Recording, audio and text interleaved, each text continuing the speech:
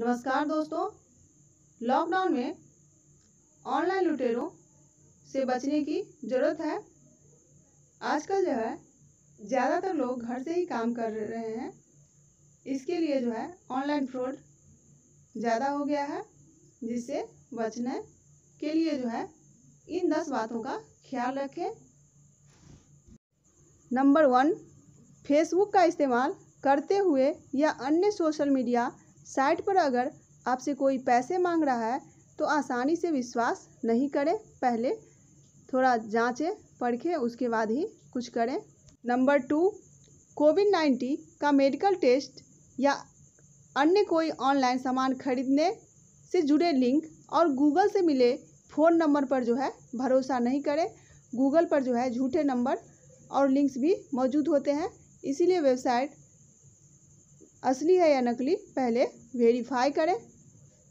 Number three Jio Vodafone Airtel जैसी mobile company के नाम पर जो है, मुफ़्त में जो इंटरनेट के झांसे में नहीं आए, ऐसा मैसेज आते रहता है रिचार्ज और टॉक टाइम के लिए। उस पर लिंक को नहीं खोलें, कोई भी कंपनी फ्री में जो है इंटरनेट नहीं देती है आपके साथ धोखा हो सकता है। यदि कोई अनजान व्यक्ति आपके फ़ोन पर आपको पेमेंट लिंक, एसएमएस के ज़रिए भेजें और उसके नीचे जो है नीले रंग की अंडरलाइन हो तो उस पर क्लिक नहीं करें। यह जो है ठग वेबसाइट हो सकते हैं।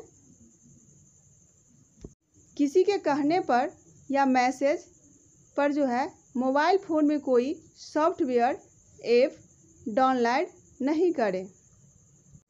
अगर बहुत अधिक सपोर्ट की आवश्यकता हो, तभी इसे डाउनलोड करें। नंबर सिक्स, गूगल पर जो है, सर्च करें। गए कस्टमर केयर नंबर का जो है, इस्तेमाल नहीं करें। इससे धोखाधड़ी के मामले सामने आ रहे हैं। कहीं भी रुपये प्राप्त करने के लिए किसी भी क्यूआर कोड लिंक पर क्लिक नहीं करें और न ही पे के बटन को दबाएँ। नंबर एट बैंक की ईएमआई माफ़ करने के संबंध में गूगल पर सर्च कर नंबर पर जो है कॉल नहीं करें, न ही इस संबंध में आई कॉल पर जो है कोई जानकारी साझा करें। नंबर नाइन वेबसाइट पर जाकर ही कस्टमर केयर का नंबर या ईमेल आदि का प्रयोग करें। नंबर टेन प्रधानमंत्री राहत कोष में पैसे केवल आधिकारिक वेबसाइट पर जाकर जमा करें।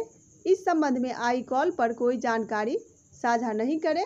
इससे जो है, धोखाधड़ी के मामले सामने आए हैं। इससे मिलते जुलते जो है, U P I I D का उपयोग करके धोखाधड़ी किया जा सकता है। ये जो है, मैसेज और लोगों तक पहुँचाएँ ताकि और लोग भी सुरक्षित रहें। शेयर करें। हाँ सब्सक्राइब करना नहीं भूलें।